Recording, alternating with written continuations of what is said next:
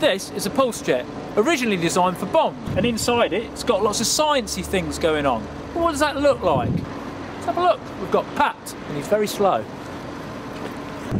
This is Pat and his super slow motion camera, Matt Damon. and he's not too fast himself.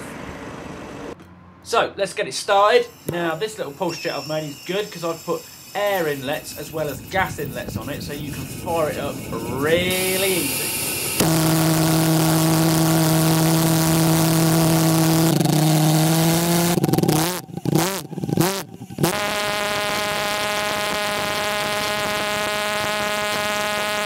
This is what you can see in real time just filming down the barrel. However, if we use the slow motion camera and slow it down to 2000 frames per second, it starts to look a bit like this. Now you can see each individual flash or pulse as it was going into the chamber, but we can go more than that. We can go to 5000 frames per second. Now if we do it to that, you can start to see literally each pulse per second, and that kind of gives us an RPM that this jet is running at 5,000 pulses per second. But the best piece of footage comes when we actually turn the gas off completely and it extinguishes itself.